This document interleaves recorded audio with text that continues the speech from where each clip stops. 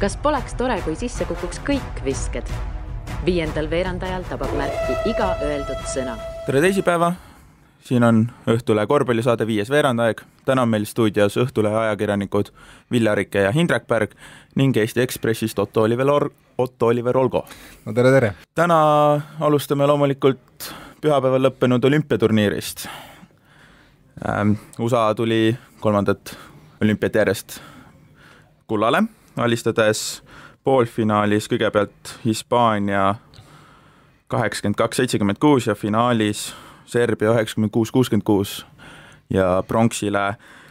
tuli Hispaania, kes sai jagu Austraaliast pronksimängus ühe punktiga kaheksakümmend üheksa, kaheksakümmend kaheksa. Otto, oled rahul sellega, et USA tuli meistriks? no selles mõttes ma nagu noh, võib natuke ülbelt ütlen, et no mida te ootasite et äh, see, et USA nägi haavatav välja alagrupi turniiril ja noh, võib-olla mõned võivad väita ka poolfinaalis, mina ei, eriliselt ei nõustuks sellega, aga hea küll. et äh, see, et te võisite väita, et USA on haavatav, siis äh, minu arust oli üsna etteaimata, nad võtavad ennast juba nii-öelda play-off faasis võtavad ennast palju kõvemini kokku ja lisaks oli ka see, et noh, Kevin Durant ja masti mees, kes, kes oli paar aastat tagasi NBA kõige väärtuslikum mängija, vähemalt põhiturniiri, no selli-, selline mängija ei saa nagu olla nii noh, ma ei taha öelda keskpärane, aga oma standardite järgi nat-, natuke alluma võimet oli alagrupi turniiril, et see, mis ta play-off'is tegi, see oli, näitaski, kes on Kevin Durant ja noh, ütleme nii, et eh, mul hakkas nagu Duranti mängu vaadates isegi üsna hirm, et eh, enam pole Splash Brothers või Splash Trio hakkab, hakkab seal Golden State'is varsti olema, et aga kas ma nagu olen rahul, natuke ei ole rahul, sellepärast et äh, ma kohati isegi arvan, et niisugune nagu väike nõelamine või noh, niisugune ühepunktiline võit võib-olla USA-l oleks olnud niisugune nagu hea wake-up, nii-öelda hea äratuskell, et äh, vahepeal nagu tundus, et ikkagi panid selle panid selle koosseisu kokku pisut üle jala ja niimoodi, et siin osad, keegi tõi välja väga hästi, kui kaks tuhat kaheksa oli nii-öelda see redeem tiim, kes nagu, nagu lunastas kahe tuhande neljanda aasta koondise pattu, et kaks tuhat kaksteist oli lihtsalt, ma ei tea, kaitsev tiim ja siis kaks tuhat kuusteist oli rohkem selline, meil on rohkem NBA mängijad kui teil tiim et äh, noh, nüüd see mänedžer Jerry Colangelo ütles, et Tokyos nelja aasta pärast pannakse kokku oluliselt kogenum ja oluliselt tõenäoliselt tugevam koondis, mis, mis ei ole mitte mingi üllatus, sellepärast et Tokyo turundusvõimalused on hoopis teised võrreldes Rio de Janeiroga, et äh, ma natuke kardan, et, äh, et see oli nagu ülejäänud maailma jaoks parim, parim šanss nüüd üle pika USA-d nõelata, aga mida ei tulnud, seda ei tulnud. Ville, sinu mõtted? Noh, ähm, mina olen alati olnud äh, rohkem Euroopa korvpalli austaja, nii et äh, selles plaanis kindlasti ma oleks hea meelega näinud seda, kui keegi oleks need ameeriklased ära nõelanud, aga, aga loomulikult äh, tuleb tõdeda, et nad olid parim meeskond ja, ja siin ei ole midagi vastu vaielda. et kui sul on ikkagi Kevin Durant meeskonnas, ega siis, siis on lihtne mängida. ja, ja palju, palju rohkem siis võitmiseks vaja ei ole, sellepärast noh, kui tuled üle ja, ja annab palli Durantile ja viskab kaheksa või kümne meetri pealt, noh, vahet ei ole, kui kaugelt, ikka on pall sees, nii et et teistel meeskondadel mitte kellelgi sellist meest ei olnud lihtsalt vastu panna. ja pluss siis räägime ikkagi ka sellest, et USA-l ükskõik, kes sealt pingilt tuleb, nad on kõik sellised mehed, et keegi nii-öelda, ükski vahetus ei nõrgesta seda meeskonda põhimõtteliselt. pigem vahetused isegi tugevdasid, mulle tundus, et algkoosseisus, kui ma, ma pikalt ütlesin, et see, et Kyrie Irving ja Carmelo Anthony tegid alagrupiturniiri mõnikord päästsid nad välja, no see oli noh, jah, päästsid välja, aga tegelikult kui nemad kohe koos olid platsil, USA mäng oli oluliselt aeglasem, oluliselt pall, ma ei tea, pidurdus ja ei, ei, ei läinud edasi ja kohe, kui tuli Kyle Lowry ja Paul George sisse nende tavaliselt, kes tulid nende asemel sisse, siis kohe muutus mäng sujuvamaks, tempo läks kiiremaks, kaitse läks paremaks, et eh, just need vahetused nagu oluliselt mõjutasid seda mängu, et kohe, kui tuli Lowry sisse, minu arust nagu läks see tempo palju, palju olulisemaks ja see oli ka see, et noh, lisaks oli kohe-kohe näha, et äh, kõikide Euroopa koondistel oli tegelikult palju paksu pahandust ka USA, USA lauavõitlusega, et äh, DeAndre Jordan võttis kõik lauapallid ära, mis vähegi andis võtta ja kui Jordan, kui Jordan läks välja, tuli asemele Cousins, kes noh, kes on samamoodi veel, ründas veel oluliselt osavam kui, kui Jordan, et mida sa teed siis selliste koljatide vastu, kui sul endal on üks, üks Miroslav Radulitš on või siis üks Pau Gasol, et äh, paratamatult mul on, mul on niisugune tunne, et hispaanlasi nagu võib olla eluvõimaluse käes, kui, et kui tänu sellele, et Mark Gasol jäi koju, noh, Mark Gasol on vigastuse koljas ja Sergei Ibaka üldse jäi välja Mi-, Mirotitši asemel jah, ähm, ega see on ju tegelikult mõnegi meeskonna või treeneri taktika olnud teinekord, et jättagi äh, üks või kaks sellist äh, head mängijat pingile algkoosseisus, kes äh, noh, suudavadki pärast tulla ja tugevdada seda mängu, nii et noh, USA-l loomulikult väga vahet ei ole, aga noh, teatud teistel meeskondadel küll. aga mis lauavõitlusse puutub, siis noh,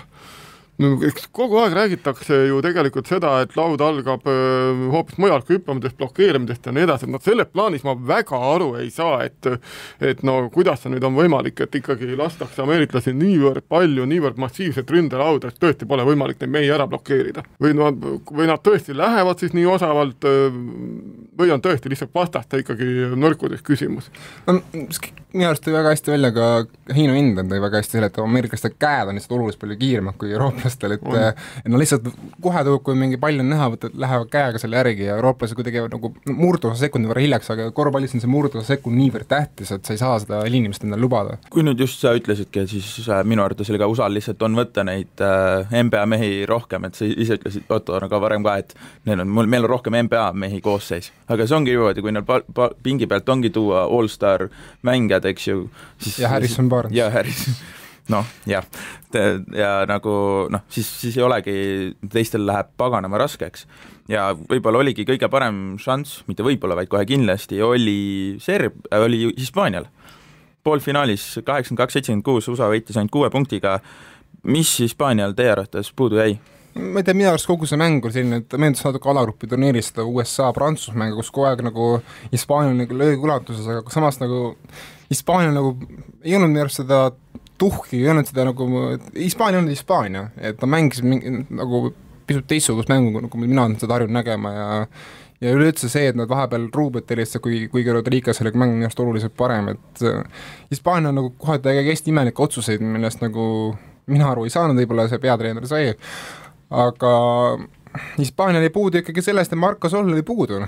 et see polegi nii palju vaja, üks, üks kvaliteetmäng teeb sulle nii palju olulist juurde ja kui kui Mark oleks olnud seal Pau kõrval, no siis ei oleks need Andre Jordan ja Demarcus Cousins niimoodi lammutanud, no ei, ei oleks. et äh, minu arust Marko Soll jäi puudu sellest, et oleks võinud nõelata, aga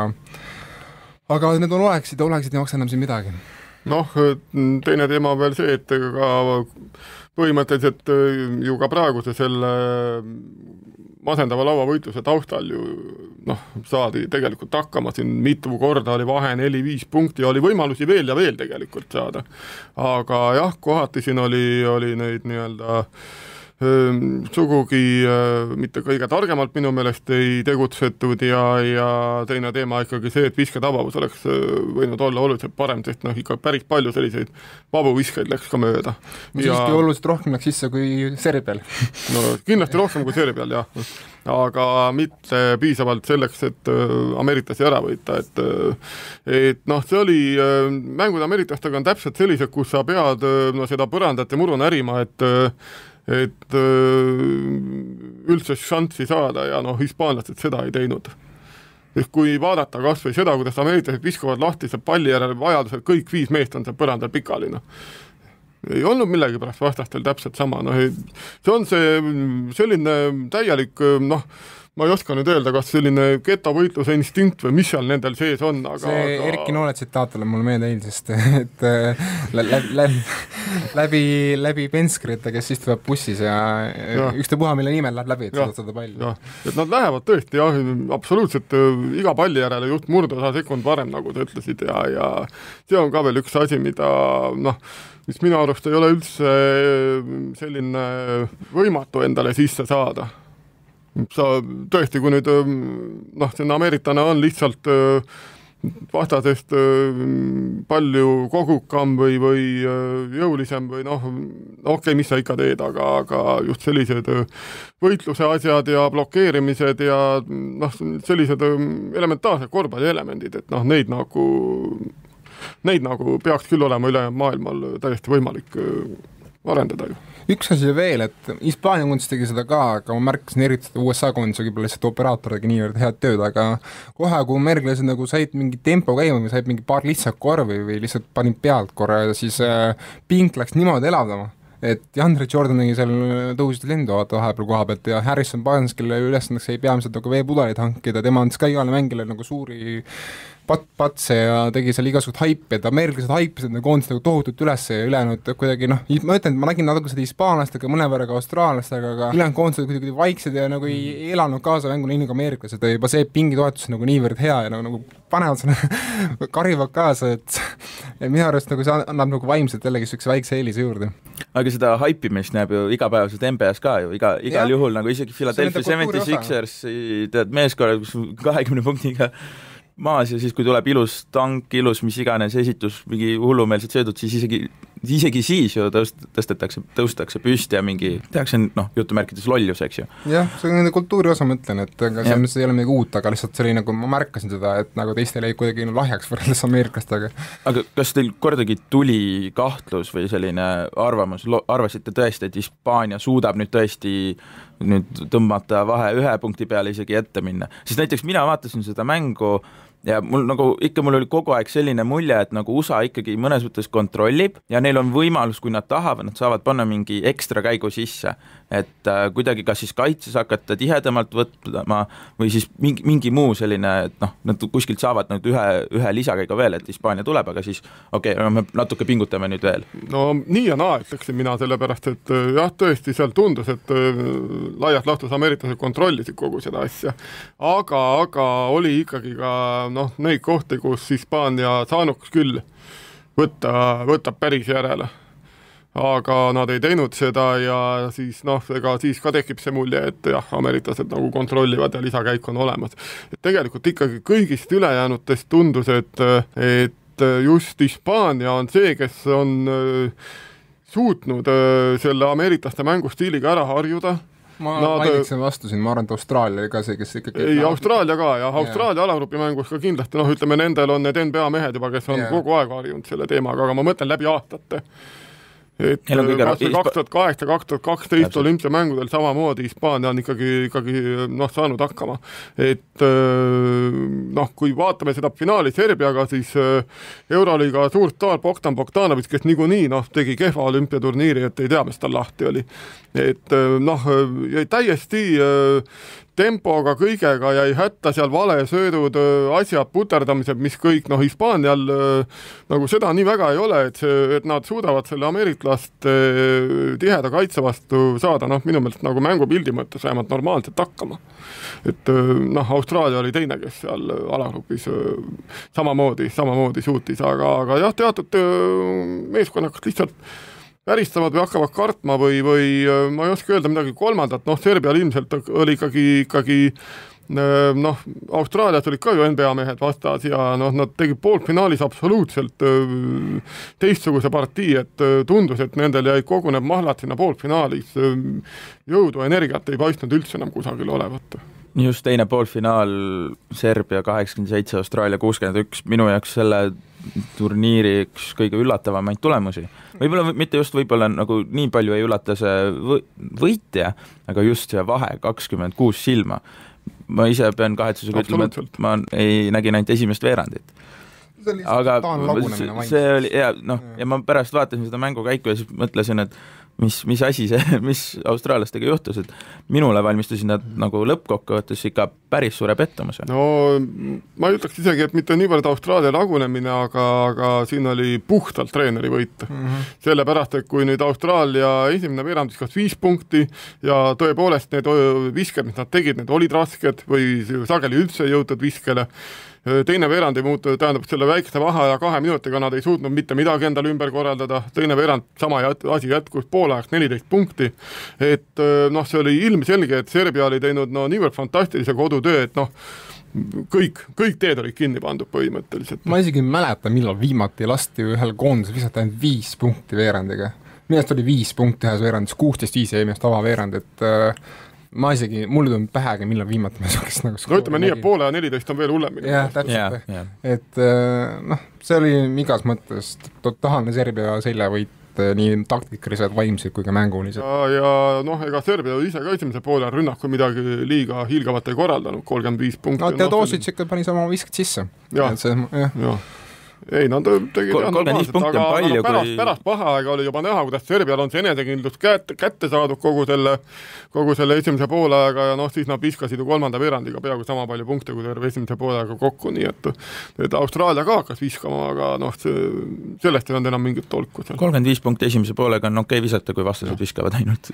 noh, neliteist, viisteist, mis iganes seal vahemikus. korvpall on lihtne mäng, pane pall korvi, aga Austraalia ei suutnud seda teha. Aga, aga ei, see oli selles mõttes kindlasti ka olümpiamängude üks üks väga-väga huvitavaid mänge, et noh, tõesti teist sellist treeneri võitu ei olnud muidugi seal Rios. jah, ma natuke nüüd tahaksin korra tuua ka selle välja, et et me nüüd rääkisime siin pikalt Hispaaniast, aga minu arust see olümpia läheb rohkem ka ajalukku sellepärast, et et ma arvan, et väga paljud nimed, kes on, kes nüüd siin Riias olid, ei ole enam Tokyos, ikka väga paljud nimed. Ja eriti just hispaanlastel oli nagu kuldne põlvkond nüüd lõpetamas, argentiinlastel lõppes ära, brasiillastel on siin noh, raudvarad on kolmkümmend pluss valdavalt, et äh, Prantsusmaa. Prantsusmaal järjest siin on, et Austraalial võib-olla on isegi kõige paremaid seise, sest neil on veel paar noort, andekat noorte eemal, lisaks on ka Horvaatial nagu tundub, et pigem helgem tulevik, sest ka neil on väga andekat, andekas noorte tuumik ja mõned on veel, Kanada, kes üldse ei saanud olümpiale, mõned veel, aga et selles mõttes ma nagu kardan seda, et nüüd vahe, nüüd, nüüd kui tuleb see nii-öelda vaheolümpia, Tokyo olümpias, ma millegipärast arvan, et seal võtab USA veel nagu võimsamalt selle võidu ära, et et teistel riikidel tule, on ootamas eel, eespõlvkonna vahetus, mis saada, ka Eestil on eespõlvkonna vahetus, sest äh, vaadates meie praeguse koondist, et äh, kahju, et see võimalus nagu lasti käest Euroopa poolt, aga samas mina nüüd, ma ütlen ausalt, et mul nagu viskas juba Riios üle see, et jälle ma pean lootma sellele, et Pauga soldab ära ja jälle pean lootma sellele, et, et Ginobili hakkab panema hulle kolmesid sisse ja kes siin veel, et Joov ja Parker hakkavad seal tegema kangelastegusid, et äh, ja mul on isegi hea meel, et me näeme nüüd lõpuks uut verd ja siin Horvaatia näitas, et Dario Saric, kes nüüd sellest uuest hooajast mängib NBA-s, et näitas väga ilusaid tegusid ja Mario Hezonja samamoodi, et et mina isegi ootan seda järgmist olümpiat natuke rohkem kui see olümpia, sest see olümpia kohe tundus selline, et USA lihtsalt tuli tegema oma kohustuslikku võitu ära, vahepeal nagu olid väikse mõõnaperioodid, aga lõpuks tood, toodi ka oma võit ära, teistel oli lihtsalt see, kes mängib veel hõbeda peale ja, ja samas ei olnud midagi uut ka, sest koondised olid valdavalt jäänud samaks võrreldes paari aasta taguse MM-iga, et no mõningate muutustega muidugi jälle. noh, USA koondis oli ikka peaaegu poolenisti muutunud, aga et selles mõttes nagu kahju, et nagu nii palju veterane lõpetab ära USA suutis vahepeal enda turniiri päris huvitavamaks teha, huvitavaks, et huvitavamaks kui eelnevatel aastatel aga jah, kokkuvõttes küll, saab öelda, eriti finaal, üheksakümmend kuus, kuuskümmend kuus, mäng oli kümme minutit oli tasavägine vist või, Serbiaga, üheksateist, viisteist ja siis teise, teise veerandiga tehti vahe sisse. Ma pidasin, mind hakkas esimese veerandi lõpus huvitama, huvitama kas ma võin korra, korra sekkuma vahele. Äh,, finaalis Kristjan Kalkon, ma ei tea, kust ta seda infot sai, aga mina, minu teada mitte keegi ei ole võrrelnud Serbia mängujate Nemanja Nedovic Derrick Rose'iga, vabandust väga, see on kõige absurdsem väide, mis ma olen kuulnud. see, et mingi eurooplane on kiire, viskab keskvälja bossi täitsa okeilt sisse, see ei tähenda, see ei tee temast Derrick Rose'i. Seda pead vist temaga ise, Kristiniga ise arutama. aga mind hakkas esimese veerandi lõpus huvitama, kui palju siis sööte mees, meeskonnad teevad ühel rünnakul ja ma pidasin teisel veerandil nii palju, kui ma suutsin, pidasin niimoodi noh, loendasin ja äh, kui teisel veerandil, kui see vahe sisse tuli, siis USA tegi ainult äh, kaks koma kolm söötu mängus, kui jätta viimane seitsme söödu rünnak vahele, see on kaks söötu, aga Serbia hakkas alguses, siis kui oli veel mäng enam-vähem noh, tasavägine või noh, jutumärkides tasavägine, siis nad tegid ikka rünnakul neli, neli-viis söötu, aga mida närvilisemaks läksid, mida vahe suuremaks kärises, seda närvilisemaks läksid nemad ja siis hakkasid ka lõpuks tegema siin üks, üks sööt rünnakul, kaks söötu rünnakul ja kohe see vahe sisse tuli et äh, see on selline minu mõttes noh, natuke huvitav ka vaadata, et isegi kui räägime sellest, et peab mängima võimalikult meeskondlikumalt, meeskondlikult palli jagama, eks ju, see on noh, see, mis meile sisendatakse või noh, see on noh, mida meie võtame ilmselt. nagu milline korvpall peaks olema, leiame söötudega vabad mehed üles aga USA teeb ju lihtsalt isik, nende enda oskustega mängijad. KD mitu rünnakut, anti talle low block'is äh, pall, back-up'is tegi vä-, mõned väga rasked visked, mõni tabas, mõni mitte või noh, mis iganes tal olid aga siin oli ikkagi ka väga palju seda, et USA seal oma selle kiire tempo pealt leidiski paari sööduga juba viskepositsiooni mehe ja kõik. aga see ei olnud tihti, aga see ei olnud ainult, kui vaatame teist veerandit, siis nad paar, paar korda tulid lihtsalt longates, tulid üle väljaku ja siis lihtsalt pall põrgatas, eks ju, mingi kümme sekundit, siis vaadati, oh, ma söödan KD-le, näiteks KD tegi paar driblingut, mis iganes, raske viske, pani sisse ära, noh, et see lihtsalt need, mis ikkagi USA-t lõppude lõpuks eristab, on just täp-, ikkagi see, tuleme tagasi, see, et neil on kaksteist NBA tasemel mängijat, neil on nagu need oskused, nad teevad üks-null sisuliselt kõigil ära, kõik, kõik mängijad sisuliselt peaaegu kõikidel positsioonidel. aga lõpuks turniiri kokkuvõttes ikkagi kakskümmend neli koma null korvisöötu keskmiselt mängus, nii et Täpselt. äh, Austraalia oli null koma kolm rohkem ja teised kõik olid vähem. nii et äh, jagati, jagati küll seda no, palli ja sama, sama ütles ka peatreener Krasevski, et äh, noh, see oli äh, noh, et ta ise ka on selle kamba kõrvalt palju õppinud mehed, noh, täiesti isetult mängivad, nii et äh, ei ole, ei ole tal mingit probleemi seal nendega. ja seal oli noh, sa mõtlesid välja mõned olukorrad, aga osad olukorrad oli ka nii, kus mehed söötsid niimoodi, et oli vaba koht olemas, visati peale, aga saatsid söötsid tagasi, selles mõttes, et äh, ei saa niimoodi ainult üldistada, et Ameerika mängib ainult sellist ei, see on lihtsalt, see on ühe veerandi nagu see võte, et nagu täpselt noh, äh, kui tõesti hakata tõesti vaatama, kuidas need söödud tulid või kus need siis, paljud olidki lihtsalt, olid noh, osad korvisöödud lihtsalt otse, sest oli varem välja mängitud koht niimoodi, et võta, viska, pane peale, eks ju. no hästi palju korvi tuli ka sellest, et äh, no seda on, oleme varem ka rääkinud, et see pole uus, et tuli lihtsalt korvi alt selles mõttes, et ründelaud ja põmm uuesti ja, sisse ja, ja ongi kõik, et ja. see korvpall on lihtne mäng. Siin ei ole midagi öelda aga, aga ma tahaks öelda seda, et äh, see finaal minu arust, mis oli jumala igav et no. äh, palju põnevam oli vaata, mis pronksi mängu, ma vaatasin seda, aga õnne, õnneks sain vaadata teist, teist poolaega ja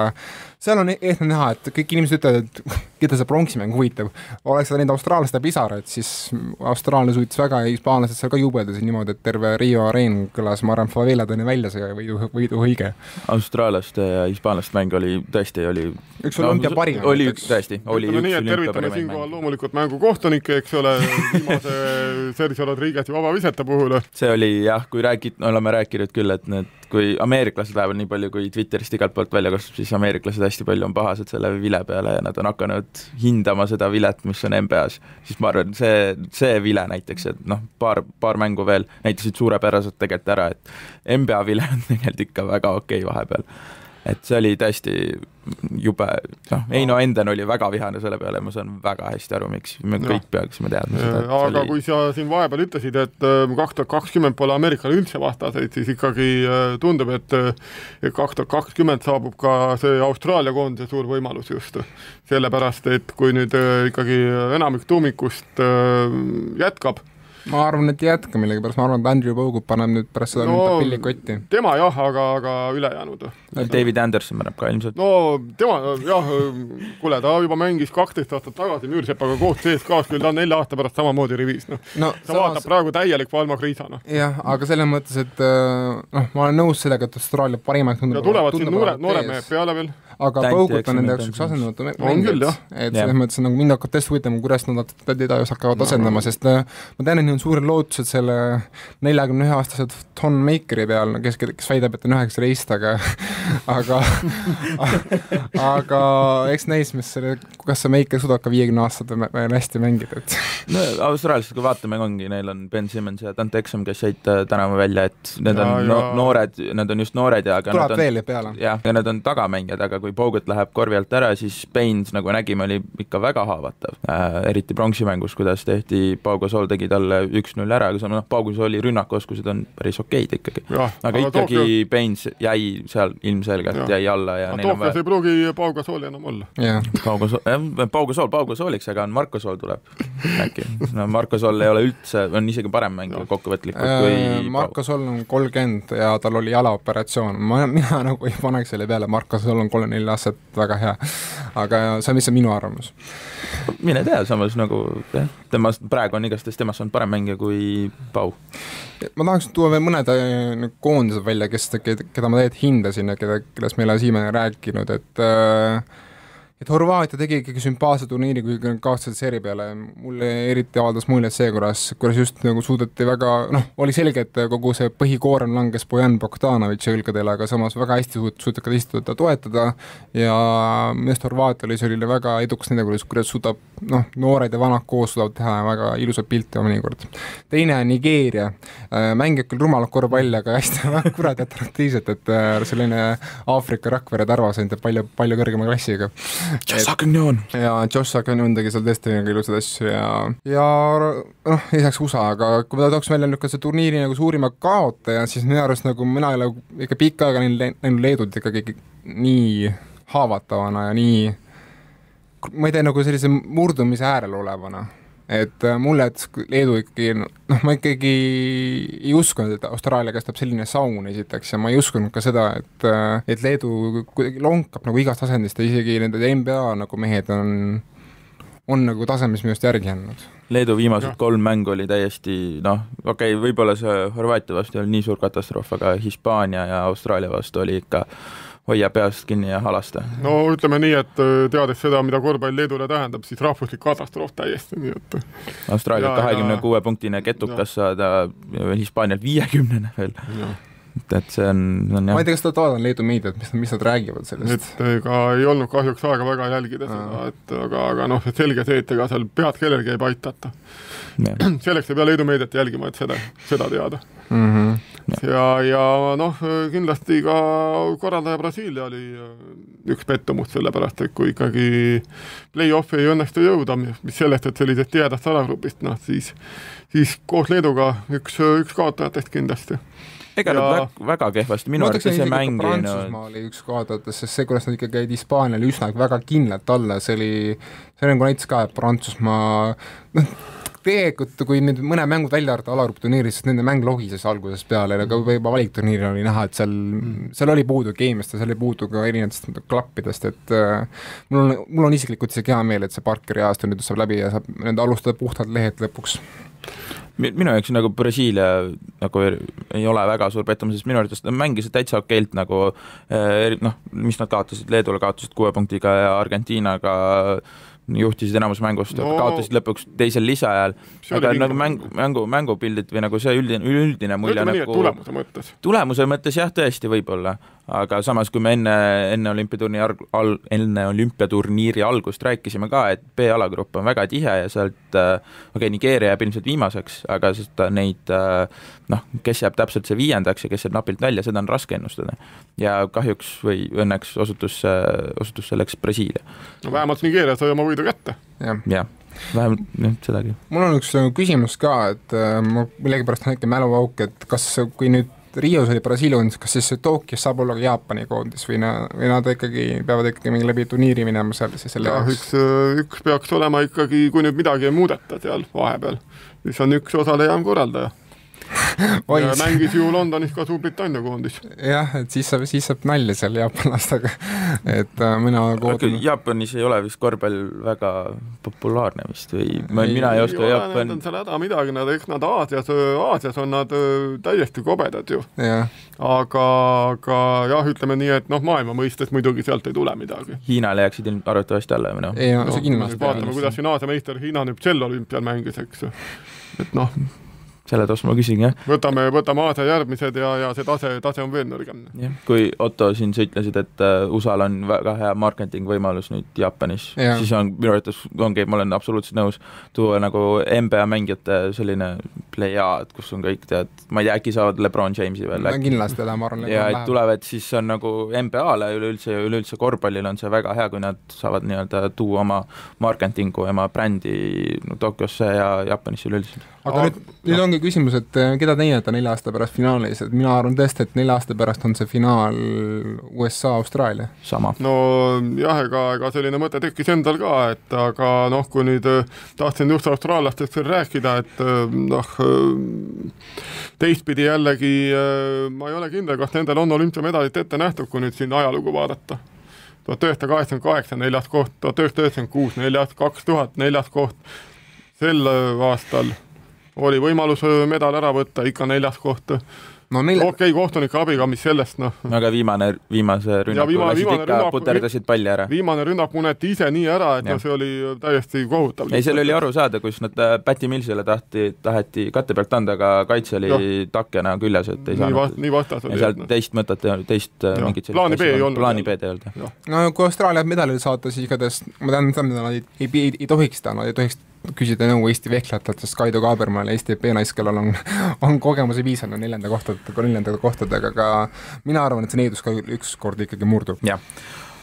aga olümpiaturniiriga, turniirile tõmbame sellega joone alla ja lähme Eesti korvpallikoondise juurde, kes mängis eelmisel nädalavahetusel Küprosel koos koduvõistkonna Albaania ja Katariga sellist kontrollturniiri Otto siin juba naerab, aga teistele loen tulemused ka ette. Äh, Katar alistati kaheksakümmend neli, nelikümmend, esimeses mängus ilus algus. aasta šokk teises mängus äh, alistati Albaania seitsekümmend üks, kuuskümmend neli, juba näeb natuke vist alla, allamäge. kolm meest olid puudu noh okei okay., ja viimases mängus jäädi Küprosele alla kuuskümmend neli, seitsekümmend kaks. Otto sa oled siin väga ei, ma nagu, ma ei ole ühtegi mängu näinud ja sellepärast ma ei taha nagu piisavalt kommenteerida, sest ma ei tea, mis seal lihtsalt juhtus, aga aga ma nii palju olen lugenud ja kuulnud, et et vähemalt seal Eesti korvpallikommuunis äh, sotsiaalmeedias hakati pärast Katari mängu tegema väga naljakat ja humoorikat ja natuke kritiseeriti Rain Raadikut, kelle puhul keegi ei saa aru, miks ta seal platsil on ja miks ta Eesti koondises on. aga, aga kui ei ole paremat keskmängijat võtta, no mis sa teed? Ville? noh, jah, ei oskagi väga siin midagi öelda, et ega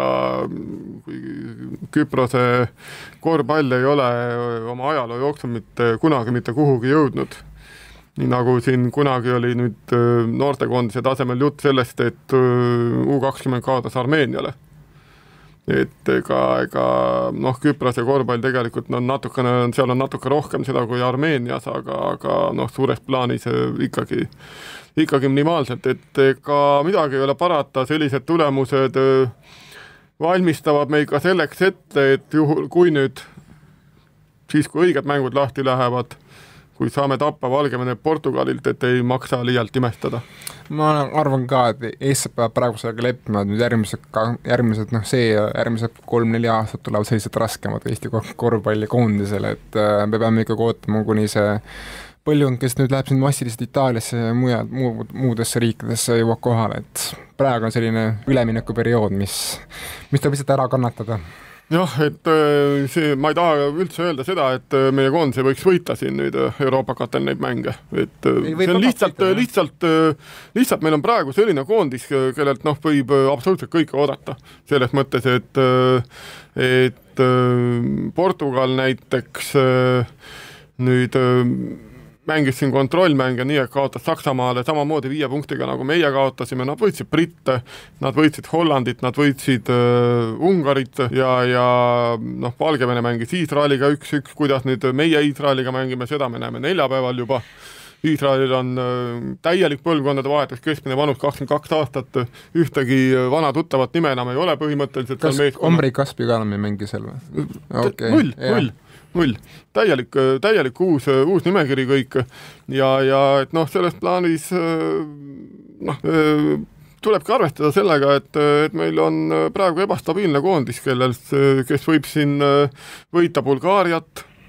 kes seal Rumeenia turniiri, mis nädal varem toimus, võitis teisi meeskondi, aga kaotas meile, eks, siis järgmine päev me viskame Ungarile viiskümmend kolm, siis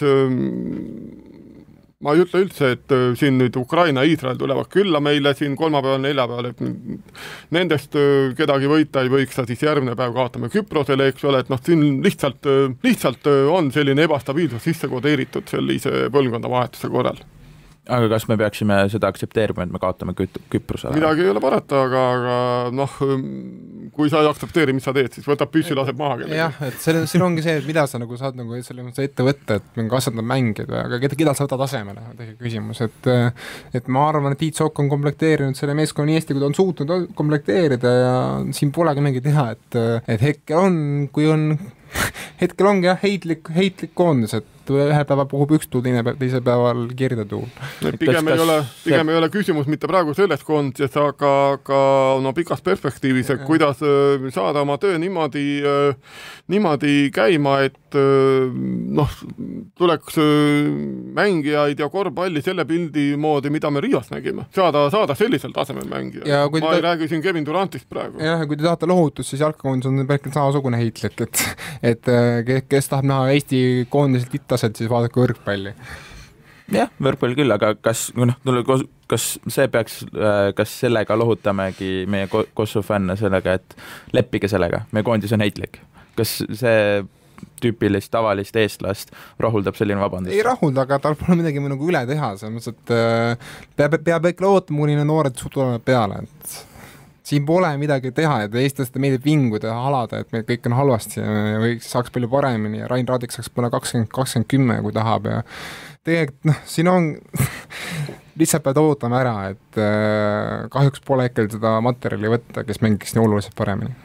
kui selliste kaotuste puhul mulle alati meeldib vaadata neid anonüümsete netikommentaatorite sektsioone kuskil Delfis ja miks sa piinad ennast? ei, see lihtsalt nagu selles mõttes, et selliste kaotuste puhul on alati äh, huvitav ja hästi palju, seda räägiti juba ka pärast Eurobasketit, seda on räägitud noh, paar aastat võib-olla, kui tuleb selline valusam mats, eks ju, et äh, vahetada välja Tiit Sokk, treeneri pink, mis te sellest mõttest arvate? noh ähm,, ega siin on täpselt see, et sa võid Greg Popovitši ka tuua sinna pingile ka Rain Raadik teistmoodi sellest mängima ei hakka. võib-olla kaks lõvepalli pannaks juurde võtaks juurde, et äh, ma arvan ka, et see noh, no otseselt mul ei ole mingi treenerivahetuse vastu, ma arvan, Tiit Sokk on seda vankrit päris kaua vedanud ja võib-olla on tõesti aeg mõelda mille, mingi uue lahenduse variandi peale, aga kes see võiks olla või, või mis, ma ei tea, mis, mis pink see võiks olla, no see on, see on triviaalne küsimus minu arust. et noh, teine küsimus on see, et kas sellest muutub midagi, kui yeah. sa nüüd treeneri ära vahetad. sest noh, see meeskond on näidanud tegelikult ju, et nad võivad võidelda, nad suudavad võidelda ja praegu ongi nüüd küsimus just nimelt selles, et kui seda taset nii palju ei ole, siis üks asi, mida nad igas mängus saavad teha, on see, et võidelda lõpuni absoluutselt kõik olukorrad võidelda, võidelda iga ruutmeetri, ruutsentimeetri pärast ja kõik nelikümmend minutit esimesest vilest viimaseni ja noh, kui, kui nad seda suudavad näidata, siis ma arvan, et tuleb mõnigi tulemus, mõnigi võit ja, ja noh, päeva lõpuks vaatame, mis, mis see tabeliseis siis toob. pal-, palju on viidatud ka sellele, et nagu Tiit Sokk mängib sellist nõukaaegset korvpalli, sellist aeglaset ja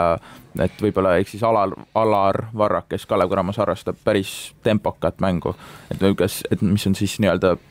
kaasaegsem korvpall? no mina ei tea, ma näen küll ka koondise esituses ikkagi seda püüdu mängida